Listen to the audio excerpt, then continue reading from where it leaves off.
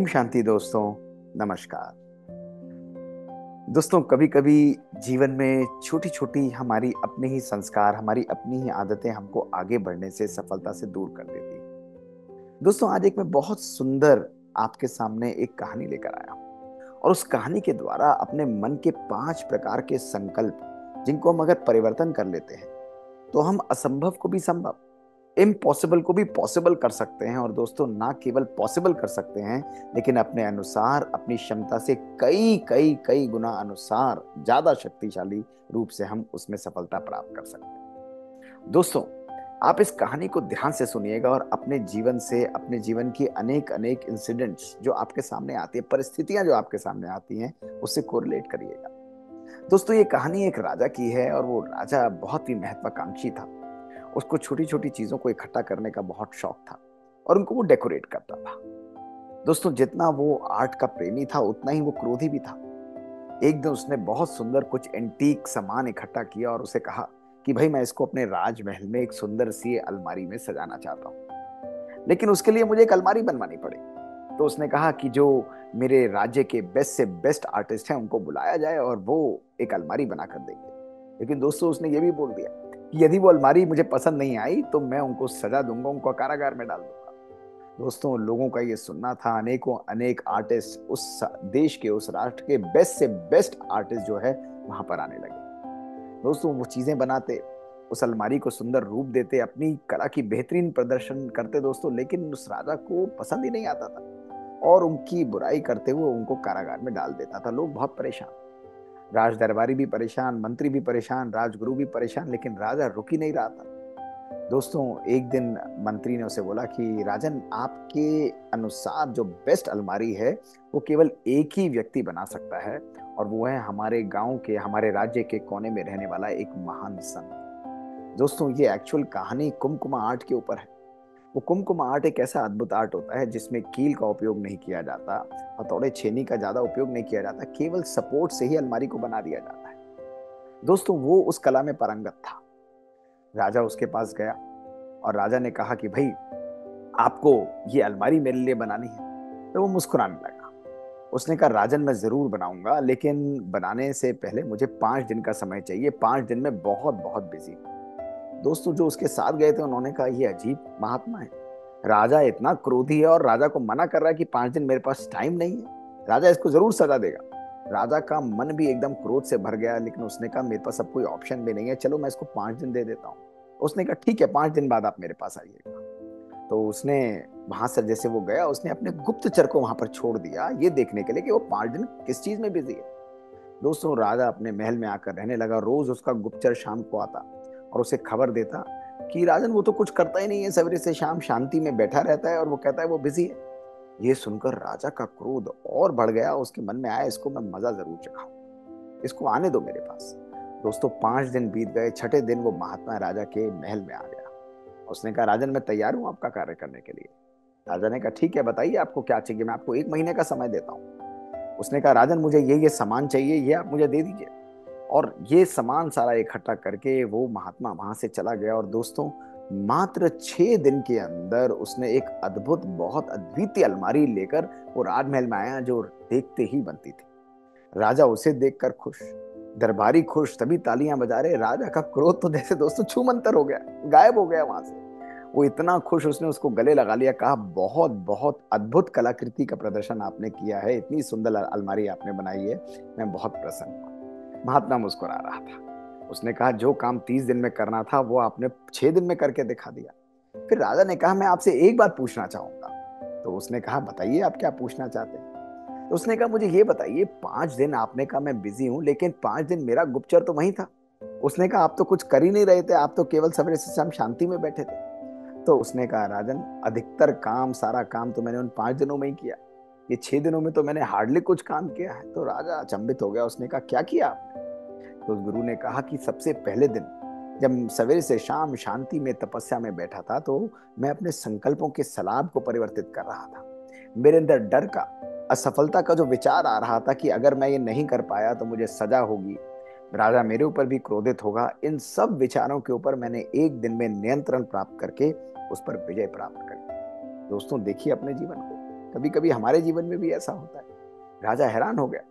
राजा ने कहा, दूसरे दिन आप क्या कर रहे थे? तो वो मुस्कुराने लगा। उसने कहा, राजन, दूसरे दिन डर और असफलता के विचारों को कंट्रोल करने के बाद मैंने कमज़ोर विचारों के ऊपर विजय प्राप्त करी। ये कमज़ोर विचार कि शायद मैं इसको कर भी पाऊँगा या नहीं कर पाऊँगा। क्या मेरे अंदर इतनी शक्ति है भी या नहीं है? लोग क्या कहेंगे? परिस्थितियाँ क्या कहेंगी? वो अगर मेरे अनुकूल नहीं हुई, मैंने इन सब विचारों को समाप्त करके अपने सामने सफलता का जो विचार है, वो अपने बन, मन में, अपने ब्रेन में, लक्ष्य में, अपने संकल्पों के साथ उसे चिपका लिया और अपने सारे कमज़ोर संकल्पों पर मैंने विजय प्राप्त करी राजन, ये मेरा दूसरा प्रिपरेशन था, दूसरे दिन जब मैं शांति में था, राजन हैरान हो गया। राजा ने कहा, तीसरे दिन क्या कर रहे थे? तो मुस्कुराने लगा। उसने कहा, तीसरे दिन राजन, मैंने अपने मन, अपने संकल्पों में यश और प्राप्ति के विचारों को अपने अंदर कि लोग अगर मैं जीत गया, मेरे को क्या कहेंगे, मेरे को यश मिलेगा, वो इच्छाओं को, सूक्ष्म इच्छाओं को मैंने कंप्लीटली अपने वश में, अपने कंट्रोल में कर लिया और इन विचारों को मैंने समाप्त कर दिया कि मुझे यश और प्राप्ति की इच्छा भी अंदर नहीं रही राजा हैरान हो गया और उसने कहा, गुरु, चौथे दिन आपने क्या किया? तो गुरु जी बोले कि, चौथे दिन मैंने अपने अभिमान के विचारों को, अपने अंदर प्रतिष्ठा के विचारों को, उनके ऊपर मैंने जीत प्राप्त की कि यदि मैंने इसको कर लिया तो लोग शायद मेरी प्रशंसा करें। लोग मुझे ऊपर चढ़ाएँ। लोग मुझे कितना रिवॉर्ड देंगे, कितनी मेरी वाहवाही होगी, इन सब विचारों जो मेरे अंदर अभिमान को ला सकते थे, मेरी कहीं ना कहीं अंदर की आत्मा को, अभिमान को बढ़ा सकते थे, अहम को बढ़ा सकते थे, उन सब विचारों के ऊपर भी मैंने जीत प्राप्त की। एक सफल कलाकार, एक सफल व्यक्तित्व वही हो सकता है जो अपने अभिमान के ऊपर विजय प्राप्त करे। और दोस्तों, ये बहुत सुंदर बात उस महात्मा ने राजा के सामने रखी। दोस्तों, राजा हैरान हो गया। उसने कहा, ये तो अद्भुत है। और पाँचवें दिन आपने क्या किया? तो वो मुस्कुराने लगा। उसने कहा, राजन, असली काम तो मैंने पाँचवें दिन ही किया। पाँचवें दिन सवेरे से लेकर शाम तक जो अलमारी मैंने आपके लिए बनानी थी, उसका मानचित्र मैंने अपने मन में बना लिया। और उस मानचित्र को बना के संकल्पों के द्वारा उसी मानचित्र को आपके मन में भी मैंने डाल दिया कि जो भी मैं बनाऊँगा, वो आपको पसंद आएगी। मेरे शक्तिशाली विचार आपके मन को भी कंट्रोल करके, आपके मन को भी अपने नियंत्रण में ले लिया। ये शक्ति हमारे विचारों में है, राजन। राजन हैरान हो गया और मुस्कुराने लगा, उसे अपने गले लगा लिया।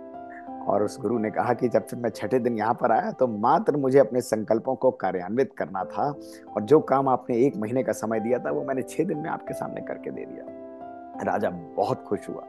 उसके चरणों में पढ़कर उसे कहा कि आज आपने ना केवल मुझे एक सुंदर अलमारी दी, लेकिन मुझे एक सुंदर सीख भी दी है। दोस्तों, ये सीख हमारे जीवन के लिए भी बहुत इंपॉर्टेंट हम अपने जीवन में आगे चलते हैं, बढ़ते हैं, दोस्तों अनेक अनेक प्रकार के कार्य करते हैं, लेकिन कार्य करने से पहले ये पाँच प्रकार के विचार हम सबके मन में आते हैं, दोस्तों। और इन पाँच विचारों को यदि हमने नियंत्रण कर लिया और एक नया विचार हमने क्रिएट किया, दोस्तों तो हमारे सामने, हमारी सफलता को हमसे कोई भी हमसे छीन नहीं सकता। हम हर असंभव कार्य को संभव कर सकते हैं। और दोस्तों, ये पाँच बातें कौन सी हैं? कोई भी कार्य करने से पहले अपने अंदर डर और असफलता के विचारों को हटा दीजिए। पता नहीं मैं सफल हो भी पाऊँगा। मुझे डर लग रहा है। दोस्तों, निर्भयता जो है, वो हमारी क्रिएटिविटी को जन्म देती है। हमारे निर्माण करने की कार्य क्षमता को बढ़ाती है। दोस्तों, दूसरा जो है कि क्या कमज़ोर विचार लोग क्या कहेंगे, वो क्या होगा, क्या ये मेरे अंदर शक्ति है भी नहीं? आज तक तो मैंने ऐसा नहीं किया। ये कमज़ोर विचारों के ऊपर भी दोस्तों विजय प्राप्त करिए। ये सफलता की ओर क्रिएटिविटी की ओर दूसरा कदम होता है। दोस्तों, यश की प्राप्ति।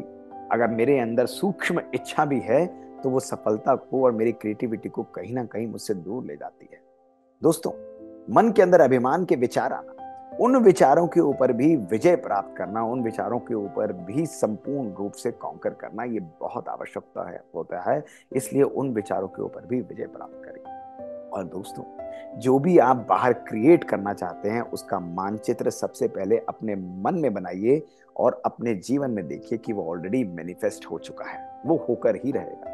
अगर इन पाँच विचारों में से दोस्तों चार विचारों को हम नेगेटिव को छोड़ते हैं और एक नया विचार अपने जीवन में लाते हैं तो दुनिया की कोई भी शक्ति हमसे हमारी सफलता को छीन नहीं सकती। सफलता हमसे मात्र संकल्प मात्र ही दूरी पर रह जाती है। दोस्तों, आज के बाद कभी भी जीवन में एक कंप्लेंट नहीं करना कि हम नहीं कर पाएँगे, हमसे नहीं होगा, मुझे डर लग रहा है। दोस्तों, नहीं। ऐसे विचार हमारी शक्ति को क्षीण करते हैं, कम करते हैं और कहीं ना कहीं हम जीवन में जो चाहें उसको प्राप्त नहीं कर सकते हैं। तो आज के बाद सफलता हमारा जन्म सिद्ध अधिकार है, संकल्प मेरे हैं और मेरे नियंत्रण में है। दोस्तों, संकल्पों के ऊपर विजय प्राप्त करिए।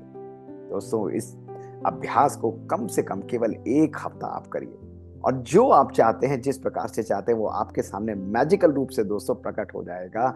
आपकी सफलता आपके संकल्पों की ही क्रिएशन है। शुक्रिया दोस्तों, ओम शांति।